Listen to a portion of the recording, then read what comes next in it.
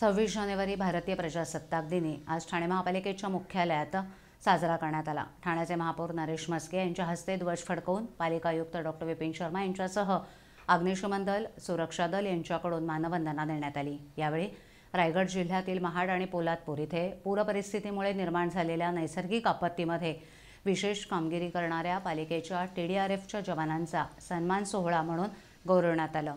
यावेळेला विरोधी पक्षनेते सहपालिका अधिकारी उपस्थित होते.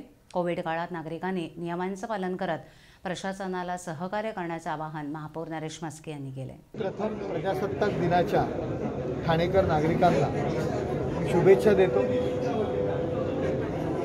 आपले अधिकार घटनेने दिलेले अधिकार आहेत परंतु त्याचबरोबर आपली कर्तव्यसुद्धा आहेत अधिकार आणि कर्तव्य हातात हात घालून आपण जर काम केलं तर नक्कीच लवकरात लवकर जगामध्ये आपला हिंदुस्थान एक नंबरवर येईल.